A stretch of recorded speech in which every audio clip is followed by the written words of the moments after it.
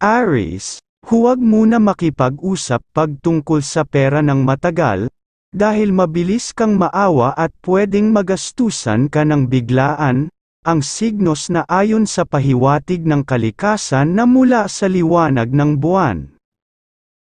Taurus, huwag ka muna bumiyahe kung usapang pera o negosyo, dahil maglalabas ka ng pera na wala nang pwedeng maibabalik sa iyo, ang signos na ayon sa pahiwatig ng kalikasan ng liwanag ng buwan.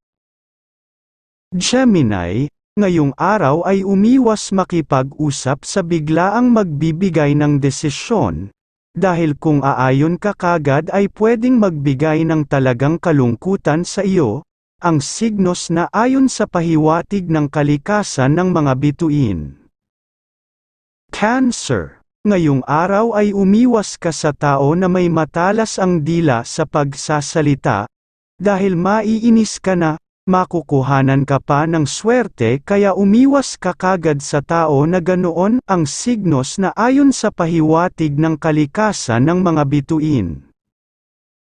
Leo, ngayong araw ay maging maingat ka sa usapang pera, lalo na sa bagong makakausap dahil kaya kang lituhin nila, sa kanilang sabuatan pag-iingat ng husto, ang signos na ayon sa pahiwatig ng kalikasan ng mga bituin.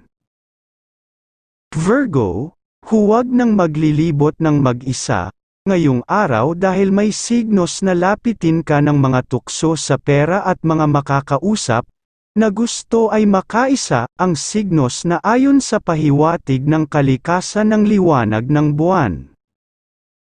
Libra, Ngayong araw ay mag-ingat sa lalaki na mahusay magsalita, at baka ikaw ay mahulog sa kanyang mga patibong, kamalasan ang iyong makukuha kung maniniwala kagad, ang signos na ayon sa pahiwatig ng kalikasan ng sikat araw.